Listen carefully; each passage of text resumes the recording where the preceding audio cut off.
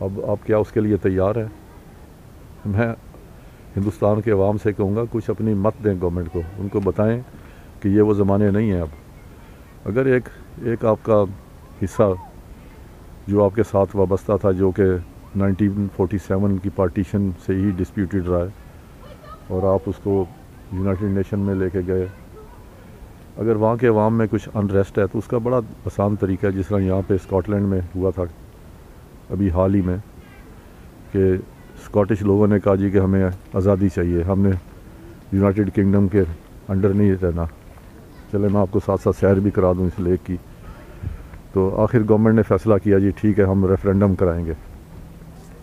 اور وہ پولز میں گئے۔ سکسٹی فورٹی کے لحاظ سے جو ووٹ تھا نو کا، جو یعنی کہ علیحدہ نہیں ہوگا اسکاٹ لینڈ، اس سے وہ جیت گئے۔ تو وہ فیصلہ سب نے تسلیم کر لیا۔ مگر اگر وہ فیصلہ الٹ ہوتا تو اس وقت اسکاٹ لینڈ ایک علیحدہ ملک ہوتا۔ لیکن وہ بڑے پرسکون طریقے سے ووٹنگ ہوئی وہ تسلیم۔ تو آپ کو کیا اعتراض ہے کہ آپ کشمیر میں کیوں نہیں ریفرینڈم کراتے؟ اب دیکھیں خالستان میں بھی آوازیں اٹھ رہی ہیں ٹونٹی ٹوینٹی ریفرینڈم کی۔ تو اب میں دونوں ملکوں کو کہوں گا کہ ذرا اپنے گوگل میپس دیکھیں۔ پچھلے دو ہزار، تین ہزار سال کے۔ ذرا گوگل کریں اپنے میپس کو انڈو انڈو پاک سب کانٹیننٹ کے۔ یہ یہ جو بر اعظم کہہ لیں اس کو، پاک و ہند، یہ کبھی بھی چالیس سال سے زیادہ انٹیکٹ نہیں رہا۔ کبھی اس کی باؤنڈریز کابل تک چلی جاتی ہیں، کبھی نیچے آ جاتی ہیں، کبھی ایسٹ کی طرف چلی جاتی ہیں، کبھی کوئی چھوٹے سے حصوں میں بڑھ جاتی ہیں۔ صرف ایٹین ففٹی سیون سے نائنٹین فورٹی سیون کا جو دور ہے، اس میں یہ کچھ انٹیکٹ رہا تھا جبکہ ڈیورنگ دا راج ڈیز